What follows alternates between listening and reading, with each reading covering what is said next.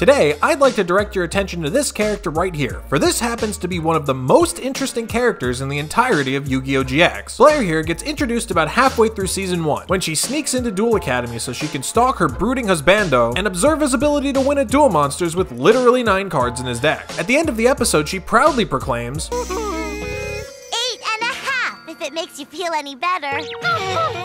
I'm not even gonna try and dissect that. So anyways, flash forward a season and a year in universe, and all of a sudden she pops up again at the end of the GX tournament. And this time she's only a year older, but somehow not. I mean, I understand that anime is the absolute worst place to try and judge someone's age by their appearance, but I mean, come on, man, this is literally not how a nine year old looks. And then the next year, she just gets admitted to Duel Academy as a freshman, which is literally a high school. We have a girl who is 10 years old at the very most attending high school. I, sure, it was technically a demand that she made after winning a tournament, but come on, man. Although, I mean, granted, I shouldn't really be surprised considering the school is run by a dude who, when he was faced with the prospect of needing seven qualified individuals to risk their lives in a battle for the fate of the world, the best he apparently could come up with was five students, a barely competent professor, and another professor who literally hadn't picked up a deck yet in the series. But hey, 10 year olds in high school, man. What will anime come up with next?